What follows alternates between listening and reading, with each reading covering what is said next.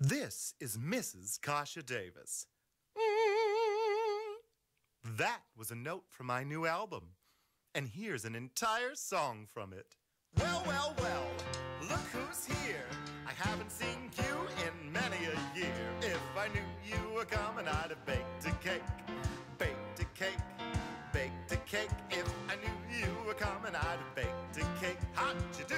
How'd you do? How'd you do? Dropped me a letter, I'd have hired a band. Grandest band in the land. Had you dropped me a letter, I'd have hired a band and spread the welcome mat for you.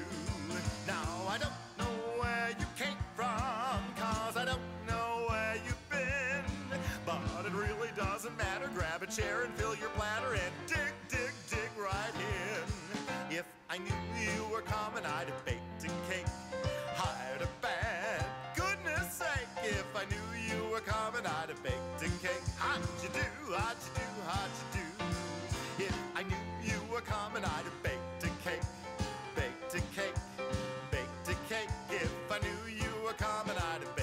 cake. How'd you do?